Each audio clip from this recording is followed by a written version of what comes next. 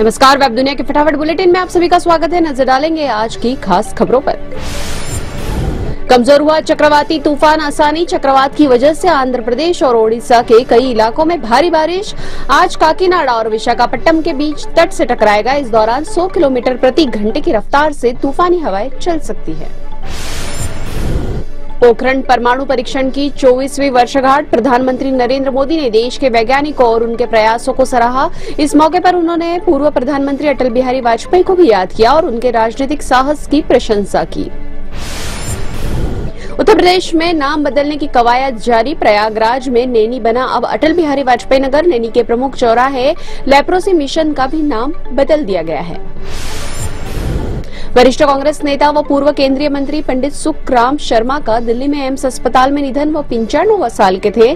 पंडित सुखराम ने उन्नीस से उन्नीस सौ छियानवे तक नरसिम्हा राव सरकार में संचार राज्य मंत्री स्वतंत्र प्रभार के रूप में कार्य किया था।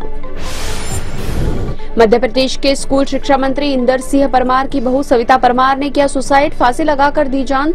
सविता की शादी लगभग तीन वर्ष पहले इंदर सिंह के बेटे देवराज से हुई थी। अमेरिकी खुफिया एजेंसी ने चेतावनी दी है कि रूसी राष्ट्रपति व्लादिमीर पुतिन यूक्रेन में लंबे युद्ध की तैयारी कर रहे हैं। राष्ट्रीय खुफिया एजेंसी के निदेशक एवरिल हेंस ने कहा है कि यूक्रेन के पूर्वी भाग में रूस की जीत भी संभावित रूस से संघर्ष को समाप्त नहीं कर सकती है। पूर्वी भाग में भीषण लड़ाई जारी है, जहाँ रूस क्षेत्र पर कब्जा करने की कोशिश कर रहा है। माइक्रोसॉफ्ट के सह संस्थापक बिल गेट्स कोरोना वायरस से संक्रमित, उनके संक्रमण हुए हल्के लक्षण पाए गए। वह पूरी तरह से स्वस्थ होने तक पृथकवास में रहेंगे। भारत में एक दिन में कोविड 19 के दो हज़ार आठ सौ सत्तानवे नए मामले सामने आए। देश में कोरोना वायरस के अब तक चार करोड़ इकतीस लाख दस हज़ार पाँच सौ छियासी लोग संक्रमित। एक्टिव मरीजों की संख्या घटकर उन्नीस हज़ार चार सौ रह गई। उत्तर प्रदेश के मेरठ में आज़ादी की गाथा देखकर सीएम योगी की आँखें हुई नम, बोले धर्म जाति मज़हब के आधार पर बांटने वालों को करना होगा बेनकाब। गुजरात टाइटंस आईपीएल 2022 के प्लेऑफ के लिए क्वालिफाई करने वाली पहली टीम बनी। लखनऊ सुपर जॉइंट्स को बासठ रनों से हराया। उन्नीस गेंद में छह विकेट गवाकर हारी लखनऊ की टीम।